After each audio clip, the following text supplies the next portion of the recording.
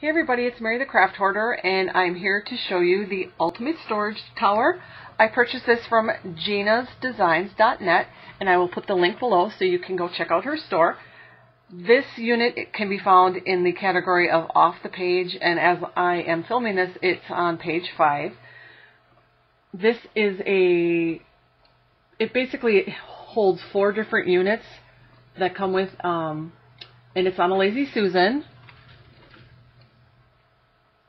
and it's so easy to put together. Gina sends along instructions that are very simple to follow.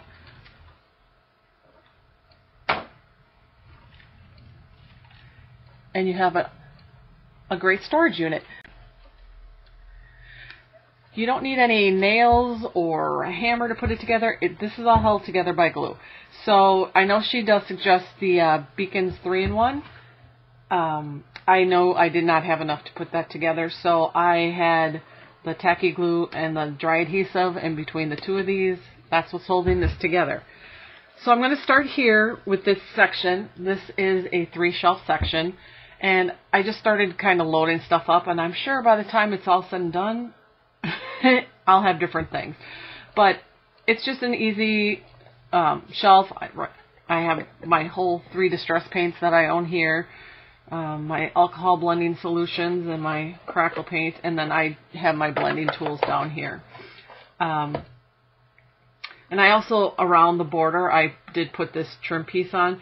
It does come with the cork board and the magnetic, and it what that does, it co covers up the tongue and groove section. The whole thing is is a tongue and groove. So as you can see, I'm not a I'm not a very neat gluer. Um, and that's okay because it can all be covered up.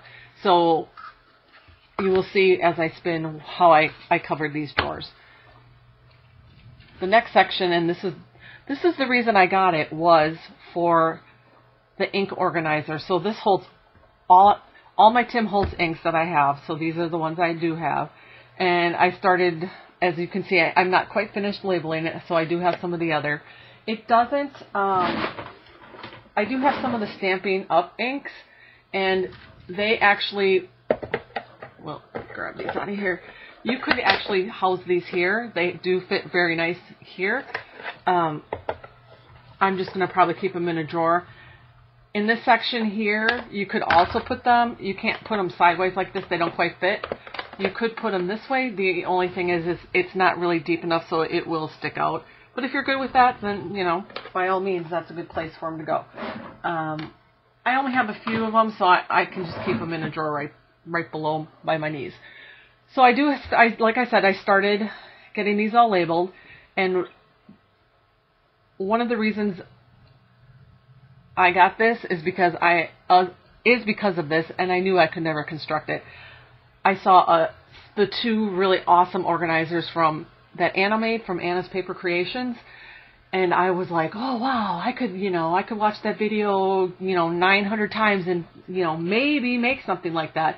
But then I realized it would be like the, the whole Pinterest thing where you have the Pinterest picture and then you'd have the picture of somebody who tried to make it and it looks nothing like it. So it'd be like, that would be my organizer. So I'm like, you know what? This was my birthday gift and I treated myself. Um, so, and I also, on all of, so I've labeled them, and then all of them have their own ink pads. Some of the colors I haven't used, but, you know, like here, walnut stain. So then I can just grab it, plop it on, and go. And that way I don't have to have room for all the, uh, each one to have a handle. And up here, what I have done is all my inks that I do have, I've just kind of gone and made a tag and labeled it. Sorry, this will have to probably be a different video on a different day. But that's just how I keep my little sample chart of my inks right here so I know. This is a, a two tier shelf and it has little little rails. Um, I just kept my mini mister up here. I, I, I tend to make my own sprays. Sorry, it's a little dusty because, you know, it's was shoved away and not used forever. And I'm like, I need to have something that, so I can use this stuff. Um, my liquid um, embossing, and then my Tim Holtz Distress stains are down here. And then over on this side, what I've done is, this is where these drawers are, and you can put the drawers in, or if you need, like up here, what I've done is just the different type of glitter glues that I have, I've stuck up here, and eventually, I find myself not really using these, so hopefully now that they're going to be out in my face, they will be used. And then if I use them up and decide not to replenish them, I have all the drawers. And again, they all come, it's, they're all flat packaged. She has all the drawers grouped together, so you don't have to guess which piece goes with which drawer. It's, like I said, it's very simple to put together. Do not be intimidated by the size whatsoever. So I have all the drawers then, and what I, I didn't want to go gung ho with embellishments, but I just I the paper is um uh linen lace and linens uh yeah lace and the lace and linen stack by Die Cuts with a View, and all I did is measured it out. I took my one inch hole punch, punched it out, just took the Tim Holtz um, distress tool and distressed all the edges then I inked it with Tattered Rose and then Walnut Stain. Um, this is a little metal piece that I had gotten from Craft Supplies One and a little pearl that I had gotten in a, a swap with Lele.